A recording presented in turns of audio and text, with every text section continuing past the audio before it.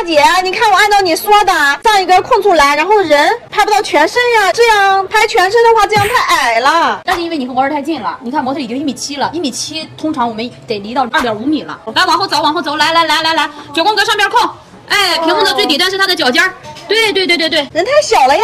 我们后期是可以调的嘛。那九宫格在哪调呢？来，我们打开设置，找到相机。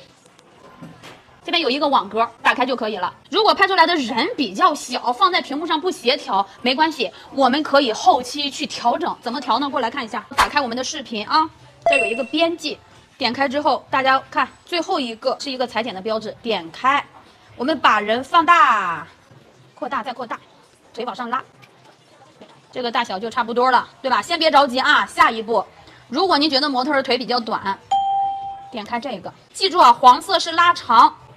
负数的白色是缩短，好，我们可以拉到六七左右吧，直接完成就 OK 了，是不是特别简单？点关注哈，帮你解决实体创业的大小难题。